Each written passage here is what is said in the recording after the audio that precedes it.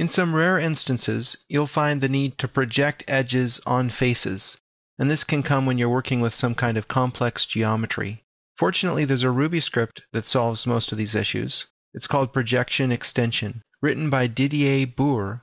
This is the person who runs the SketchUp Library Depot. This was written in 2005, and actually some of the tools don't work in SketchUp 7, but I figure I'd like to show you anyway because there's some very useful parts of this toolbar here that I'd like to demonstrate. First of all, I can take an edge like this, hexagon, and project it down onto the surface below. I'll select the surface, and I'll click this tool. This projects the selected lines perpendicular to the selected face. If we say we don't want to create faces, this is the result. It's the two-dimensional shadow of this geometry projected vertically down onto the face. If we want to create faces, then I'll just change this to yes, and you see the difference.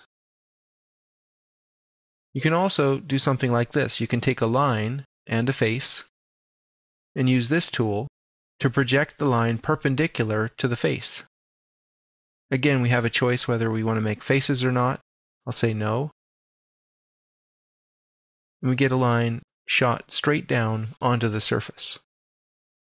Over here we have a series of lines. Let me select them all. And I'll use this tool to extrude them up in the blue direction. Let's make them 8 feet high, as if they were walls. So this is kind of an alternative method for creating walls out of a single line representation.